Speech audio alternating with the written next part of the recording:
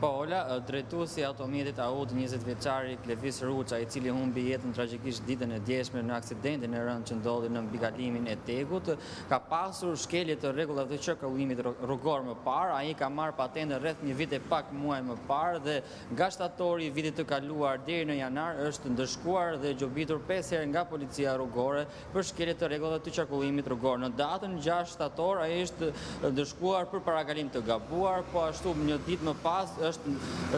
ndëshkuar për shkelje të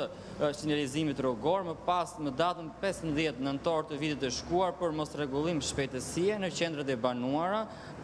po ashtu në datën nëntë dhjetor për përdorim celulari gjatë drejtimit të automjetit dhe në datën njëzet e shtatë janar për shkelje të sinjalizimit rrugor dhe i papajisur me siguracionin e detyrueshëm të mjetit motorik. Pyetja që kam për zotin Gjoka është që njëzet vjeçari Klevis Ruçaj, i cili është ndëshkuar disa herë për shkelje të rregullave të qarkullimit rrugor, pse nuk i është pezulluar patenta, a e parashikon ligji këtë gjë? Çfarë parashikon ligji për këto raste? Atëherë, në lidhje me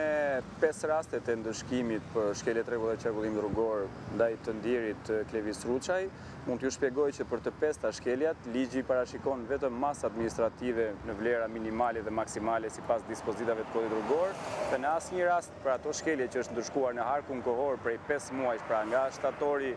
dy mijë e njëzet e dy deri në fund të janarit dy mijë e njëzet e tre, nuk parashikohet një masë plotësuese si ajo e pezullimit të lejes së drejtimit. Në tre raste që është ndëshkuar.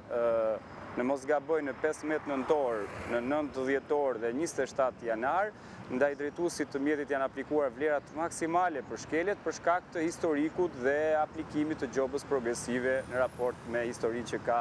që kishte ky drejtues për shkeljet e rregullave të qarkullimit rrugor.